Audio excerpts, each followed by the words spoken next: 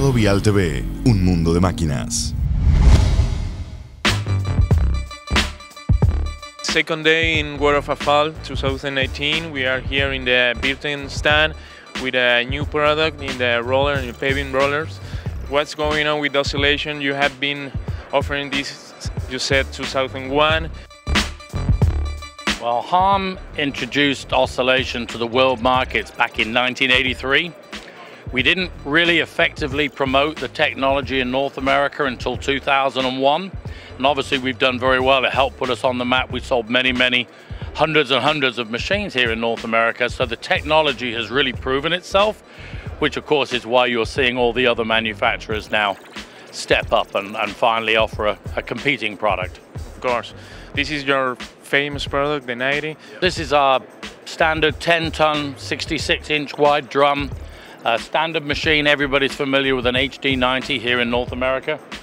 We offer this with conventional vibration, high frequency vibration, which is popular here. Um, oscillation, of course, with having a combination of both a conventional vibratory drum and oscillation. As a combination roller with four tires, with split drums, lots of different variants. This newest machine that we're showing today is the PH, which is a power hybrid. And a power hybrid, we're able to use a much smaller engine, 74 horsepower instead of the normal 114 horsepower. And of course, we're talking tier four final technology here. So ordinarily that would mean you'd have a DPF and an SCR and a DEF tank. We need none of that.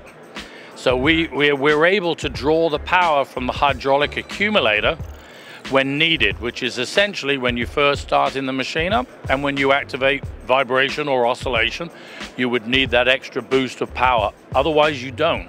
So that charges the hydraulic accumulator and when you need it, it's there, you draw on that.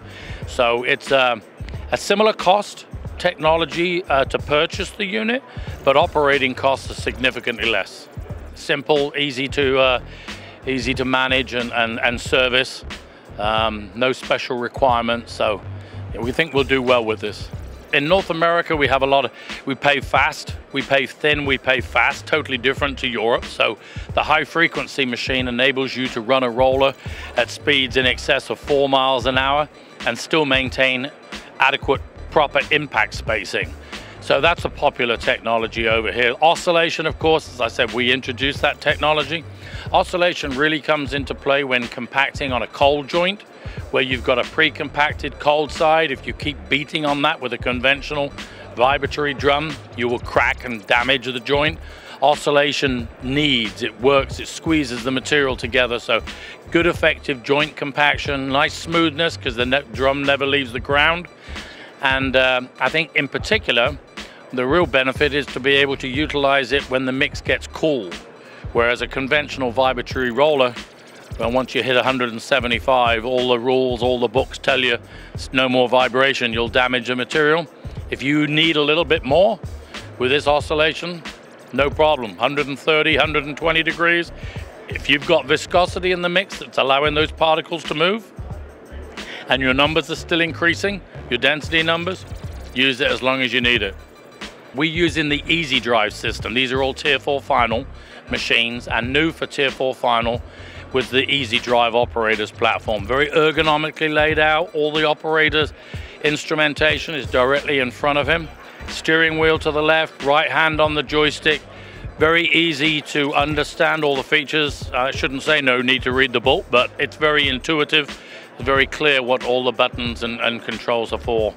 So we're using that same dashboard control on our HD Plus series, on our DV Plus rigid frame machines, on our big soil rollers today, and even on the rubber tired rollers. So good, easy for an operator to go from one machine to another. Easy to drive, plus you have the screen with it, it tells you where to go, uh, how many passes you have, the temperature. That's true, that's an option on this machine, but we have our HCQ Hamm compaction quality a PC and a, and, a, and a receiver on here and we can continuously map record the number of passes where we're up, we've been on the map to make sure that we're getting uniformity.